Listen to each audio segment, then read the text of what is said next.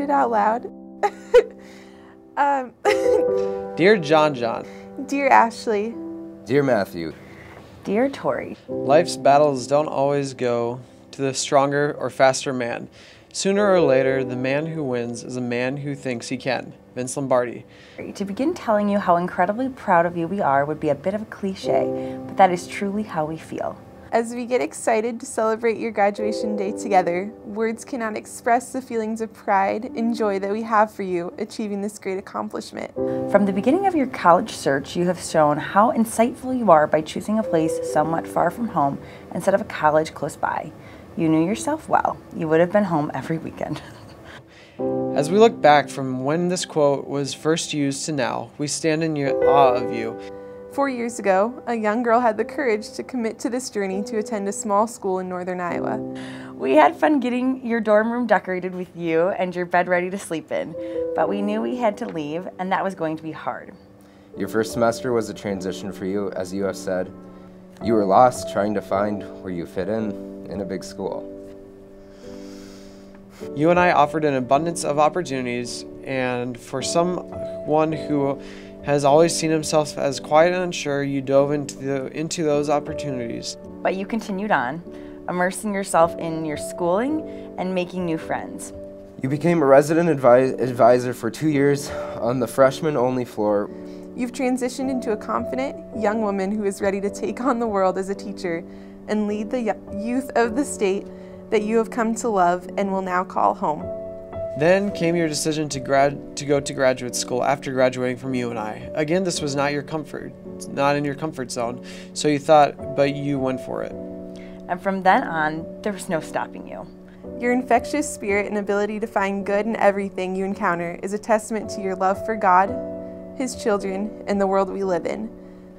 With your gift from your freshman residence, a greatest dad mug, you gave from your heart, you led by example, you encourage your residents to get involved and have Panther pride. From making decisions about what classes to take, where to buy your books, what organizations to get involved in, getting a job on campus, and where to live and with whom, you really grew up in a few short years. From the little fourth grader who came home devastated because of a B plus in math to the newest teacher of Sadell School District, you continually make us proud, proud to say, that's our daughter. You are the man who has won, Jonathan Wayne Klein. You are fast, you are strong, but more than that, you are faithful and hardworking. What you have learned both academically and emotionally during your time at UNI will enable you to be successful no matter where life takes you. We are so humbly and yet incredibly proud of you and all of your many accomplishments, but more importantly, proud of who you are inside. We know your grandpa and Uncle Tim would have loved to see you graduate, and we know that they are watching and are very proud of you. You reached that goal even with a major hardship along the way.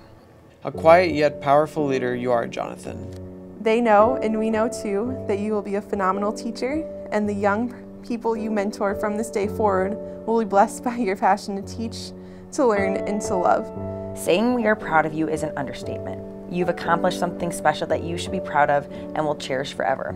You're an outstanding person, and we are honored to have you as our daughter. It has been our pleasure to watch your growth and progress throughout the years, and we could never say we love you nearly enough. We love you, Mom and Dad. With love, Mom and Dad. We love you, Dad and Mom. Love, Mom and Dad. P.S. Always remember the little life lessons we've taught you, and please don't ever forget the way home.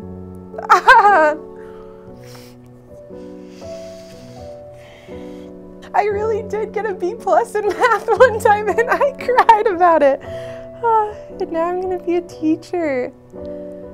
I'm my parent, uh, my mother's son, and I tend to tear up during this stuff. So This note just kind of reflects everything of how it wasn't easy. Now I'm sad. because I'm not ready to be done here. It's not a college isn't what I always isn't always what you expect it to be. I just think that you know UNI has been great, and just to know my parents had the same, you know, feelings and supported me all along the way has been incredible. And just knowing that they've stood by me all this time. I guess I just feel blessed and a lot of a lot of good people family, friends, advisors, professors that I've been able to encounter with my time here. And because it was the fastest four years ever. And my parents are proud of me. This makes me feel genuinely happy with my college decision, and I just, I mean, I know my parents have supported me all this way, but for them to, you know, put that support into words, I think makes it really special. And I think that I would not be half the person I am without UNI. Last part, please don't ever forget the way home. Like, okay, I'm never moving away now, mom and dad. I don't know, I'm just glad to have the support I've had from my friends, my family, um, and especially my parents.